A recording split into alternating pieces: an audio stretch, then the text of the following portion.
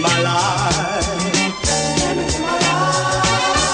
And these are the arms that long to lock you inside every day and every night.